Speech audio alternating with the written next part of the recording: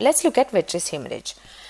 So the patient presents with floaters and again a sudden painless loss of vision. This is another cause of sudden painless loss of vision. It's vitreous hemorrhage. So when you think of sudden painless loss of vision, the first thing you remember is retinal detachment. So how will you differentiate between these two conditions? So floaters are present in both of these conditions and both these present with sudden painless loss of vision. However, the differentiating feature is flashes. Flashes of light we have seen photopsia in retinal detachment if you remember. Those are present here but absent in vitreous hemorrhage. That is how you are going to differentiate. So, this emphasizes the importance of taking your history of flashes. Okay. Now, let's look at vitreous hemorrhage, the different causes of it. The first commonest causes diabetic retinopathy. Next, the trauma it can be blunt or any perforating trauma and it can result in vitreous hemorrhage in young people.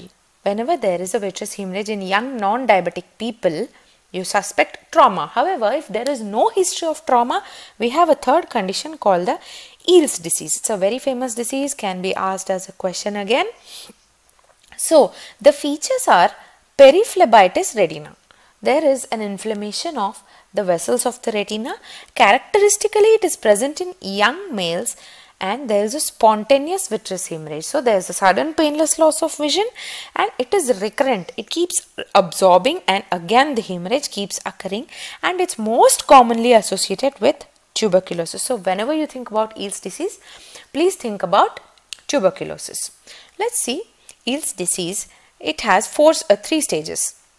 There is inflammation of the veins, then occlusion resulting in ischemia and then the neovascularization which, cause, which causes the vitreous hemorrhage. So, your treatment would be to reduce the inflammation you will use systemic steroids and obviously because it is most commonly associated with tuberculosis you are having to give the anti-tubercular treatment to this patient. Okay. Next.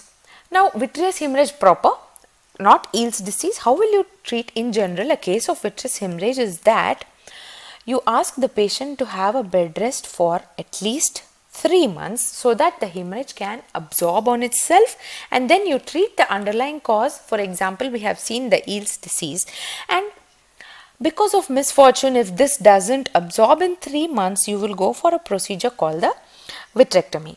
Now, this is the vitreous hemorrhage which you are seeing and once this hemorrhagic vitreous has been removed by vitrectomy, see this is a post vitrectomy stage where you are able to see the features of retina very clearly.